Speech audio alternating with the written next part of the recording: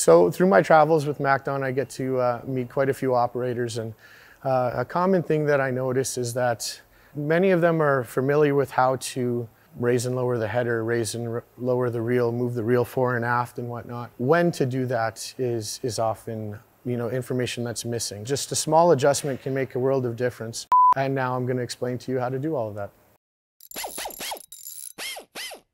Uh, once we've established what our field needs to look like, what our stubble height should look like, what our uh, swath or windrow should look like, we then uh, approach the uncut crop and put the header down on the ground and uh, walk out and go have a look. From there, we can look at um, you know things like are our skid shoes set to the right position to achieve the stubble height that we want? Is our guard angle working with our skid shoes to achieve that goal?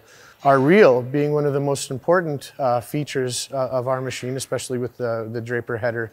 Uh, how is it engaging the crop and what's its relationship with the cutter bar? So that's going to translate into uh, how we lift the crop up to the knife and how that crop transitions over uh, the cutter bar onto the drapers. We might need to adjust our, our cam setting. Uh, when we adjust our cam setting, it kind of changes how uh, the reel engages the crop, but also its release point uh, over the drapers. So if we move our reel forward uh, quite a bit, we might want to consider increasing the cam number so that the fingers hold on more and carry that crop onto the, the drapers rather than releasing it over the cutter bar. From a position like this, if we were next to some uncut crop, we could easily see the relationship between the reel, the crop, and our knife.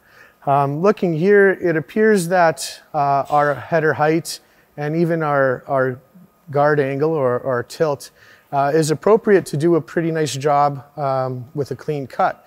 But if this were a, a lodge crop that was really down and needed the assistance of the reel, you can move the reel by hand here and see that this reel is nowhere near engaging uh, crop uh, before the cutter bar.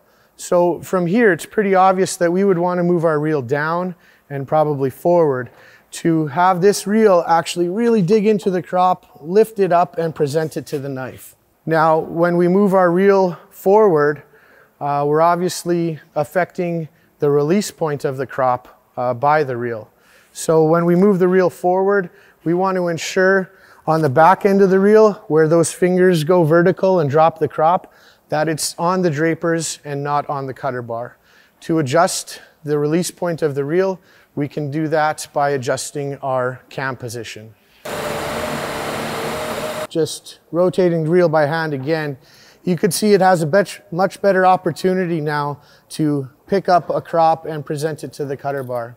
There's results, but there's also consequences, right? So moving your reel forward picks up the crop, assists in, in picking up down crop, but a consequence of that is it's released from the reel sooner uh, potentially over the knife instead of onto the drapers.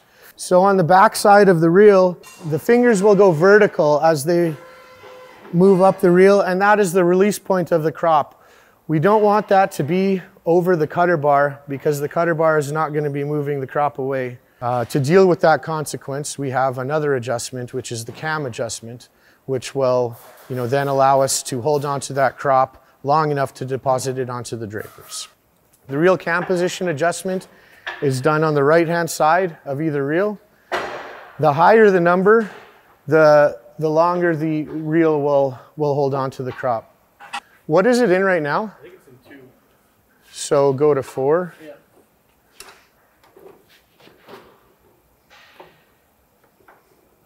The, the right-hand reel, the, the reel closest to you, its cam position is at two. You could see that a, a a cam setting of four uh, holds onto the crop a lot longer, allowing the reel to carry the crop onto the drapers as opposed to cutting it over the cutting components or cutter bar.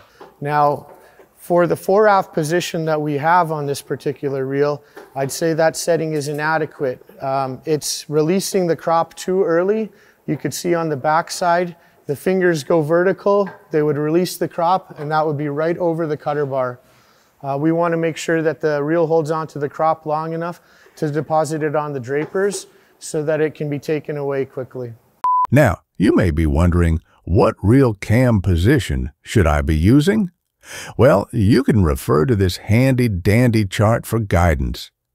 For standing and delicate crops, use the cam setting 1 or 2.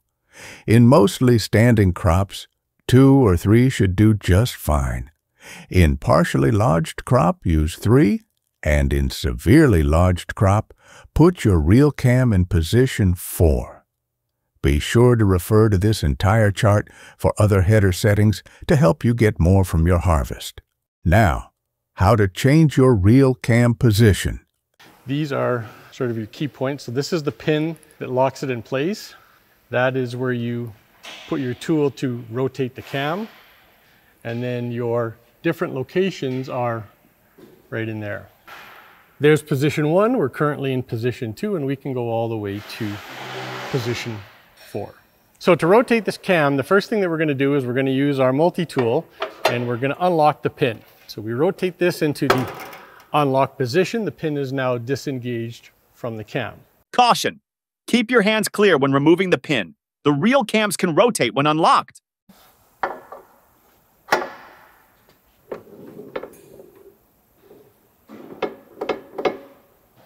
So now we're in position four and we'll just relock the pin.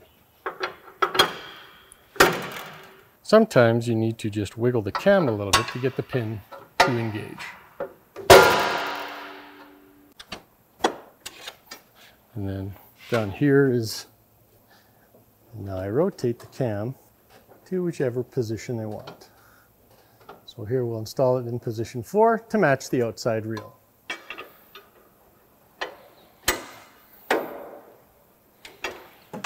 Now just wiggle the cam a little bit. And that's how you adjust the reel cams. In most cases, you're gonna wanna run the cams in the same position. So if the left side is in four, the right side should also be in four. Contrary to popular belief, the cam setting on the reel doesn't really change how aggressive the crop is in the reel, um, but it does affect how long the crop is held onto on the backside of the reel. Looking down this particular reel, uh, this one is set at a cam position of four and the other one at two.